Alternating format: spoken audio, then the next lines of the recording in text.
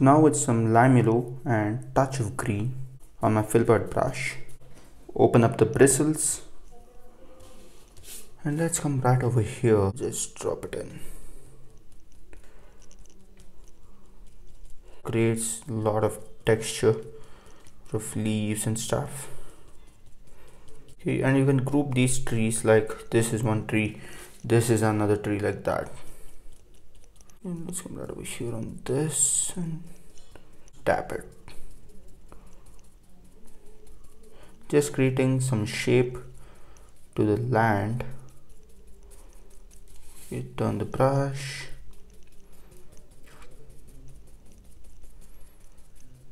That it's that easy. I want those dogs to be shown. Hmm now I've just brightened up that color a bit. Let's come right over here you know. Just drop it in. And I'm tapping it very lightly. Okay something like that. You can create a lot of depth. And this will be the boundary for this tree. Always have a reference picture. Okay something like that look at that I was super loose with the blocking in part but when it comes to detailing I'm very careful. Hmm. just sort of brightening them up.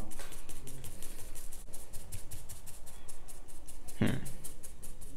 so now I've brightened it up for another layer. That. Barely touching the surface. Open up the bristles. Of course this is a worn out brush okay something like that. You know create some random shapes of each individual foreground tree. Yeah. I'll just change the color a bit and I'll just brighten it up for the sake of adding depth. I'll even make use of a fan brush.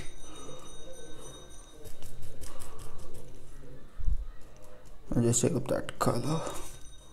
I'll just take up that color of green mixed with blue. With that all sorts of variations are very important to make it look realistic and natural along with the brush strokes. Look at that.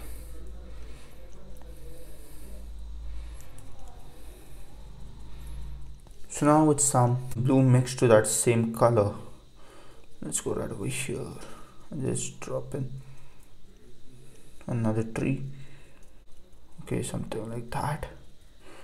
And tap it very lightly. The reason you have to tap it lightly is because you want all those pockets of the blocked in colors. Okay something like that. Hmm. So now with some black on my number two fan brush. Took off most of the paint from the brush to get that texture. Hmm.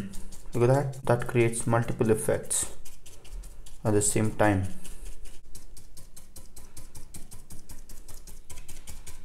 And I'll go at the bottom and just you know drop in some shadows for these trees.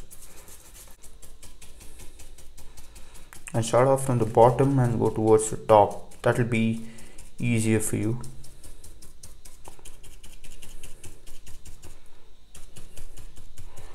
okay something like that. Hmm. Yeah I like those extra leaves popping out.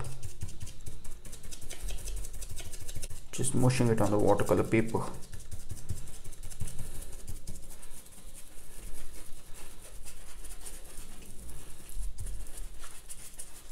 Hmm. so now I've just taken in more of black and just tapped it once on the palette to reduce the amount of paint on the brush same number 2 fan brush again.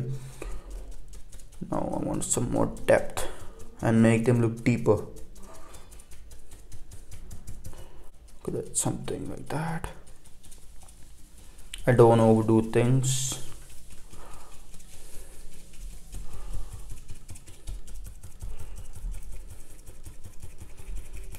Hmm.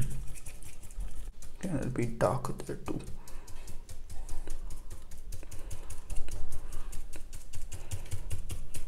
now with some more black. Let's come right over here and drop in some more textures to make them look realistic.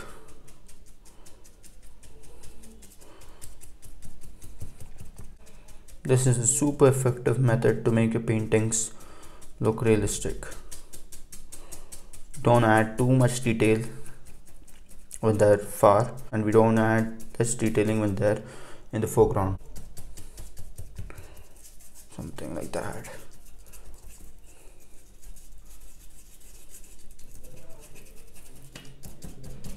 Hmm. now just taken in some black and wiped it off very lightly even though I know I've wiped it off. But still very lightly I'll just go over here and add in some shadows to this.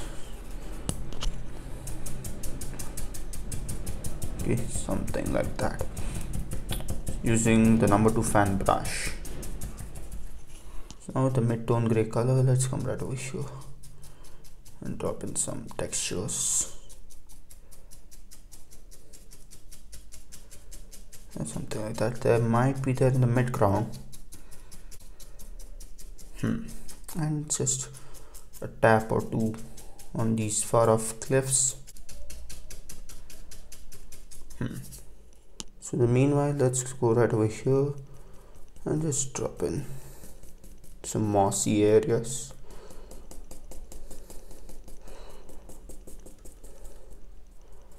Okay something like that yeah. And some over here too. Don't want to lose all those contrast let's go right over here and just drop in something like that small waterfall. Make the background a bit soft just like that. Hmm. and we need some ripples to depict that reflection of the waterfall so just do it like that. Be very careful especially when you're painting with watercolors or acrylics. Even it's stack if you try to rub. The paint might simply come off. Do it very slowly and very gently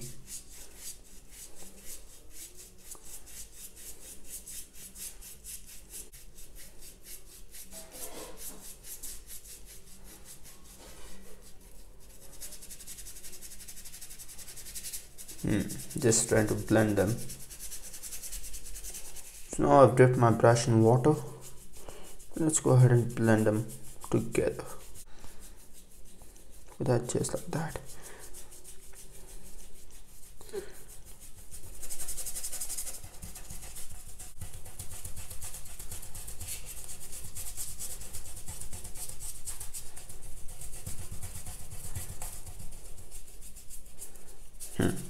so now let's go ahead and drop in few tree trunks small tree trunks. Skip some spots and there he goes. And maybe another one. And let's go back into the water. Just drop that in. Just like that over there. Just give it a slide. Do it like that.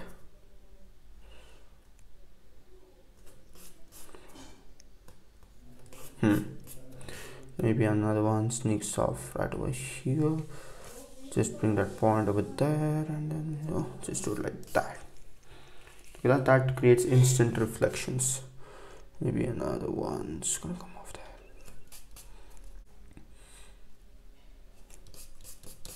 there. Hmm. I'll bring out the darks in the water. Because that's gonna come off till there and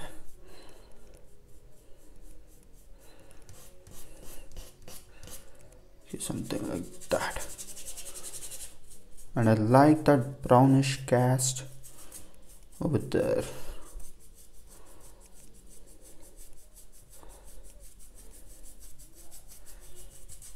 Let's go over it very lightly once.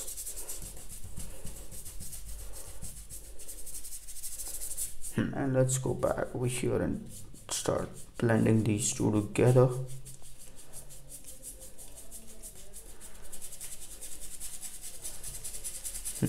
pick out that white from there and bring it outwards. And let's go ahead and drop in a few over here too. We want them to be symmetric. Okay something like that and then we'll have another one and sneak in the one slightly. Okay I don't want anything to be symmetric. And so now let's bring in few twigs into the painting okay let me turn the watercolor paper like that. I'm using the rigger brush for this. Because that pushes things back. If not anything else it pushes the sky back.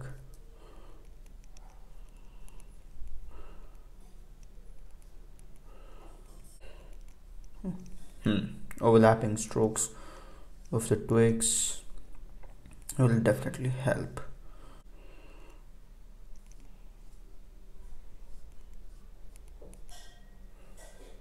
uh, that keep it as light as possible. You can always go back and darken them.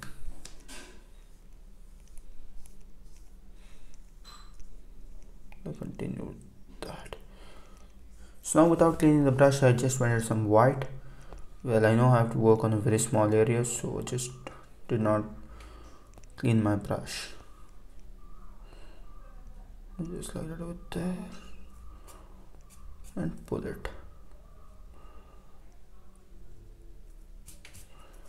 make them softer because they're not in the foreground they're somewhere far okay, something like that and some wood there too. Hmm. so now without cleaning the brush I just wanted some grayish brown black color. Just do it like that and then maybe if you want pull out something like that you know. Just to create some sort of interest